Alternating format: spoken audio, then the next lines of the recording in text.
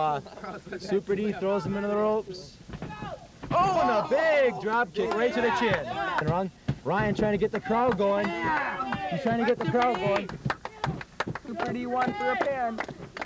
It's rolled around the other way. A nice reversal by Super D number one. Oh, and a drop. A drop. Oops. Oh, and a Drop big kick drop by Super. D one. Isn't the, uh, oh, and a. The coach's man. Oh, and a double sledge to the back of the neck.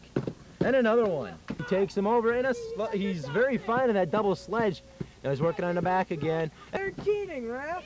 They're cheating. He, the Blade Runner just hit the Super D over the head with the megaphone. He the manager's hand in the first place. His legs are on the rope. And it His got legs a were on three. My self-opinion is that the Crusher has no chance against Oh, and a- Mr. Macho. Been for almost a year, and another big drop kick. That's two straight.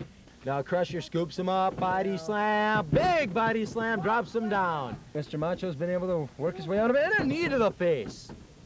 I don't And a big clothesline. No, and they're slugging it out again, and a big bar to the back, but that hurts oh, Crossen as much as it. Mr. Macho. That is nothing but cowardice. He crawled under the ring.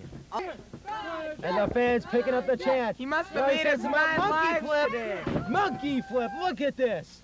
They've been feuding for about two months now, and these two have been going at it worst of all. And I scoops him up, and takes him over. Nice suplex. I just want to quick say something here. Crusher Crossen the champion. I gotta go get the arm x-rayed. I think this next.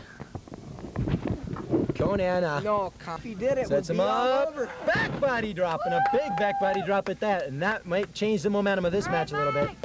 Now wait a minute, on a two count. Here comes Conan. Look at that Now wait a minute, they're going after him. That's someone out there, ladies and gentlemen. This is just going. They could. Mike Bauer just going out there clearing house.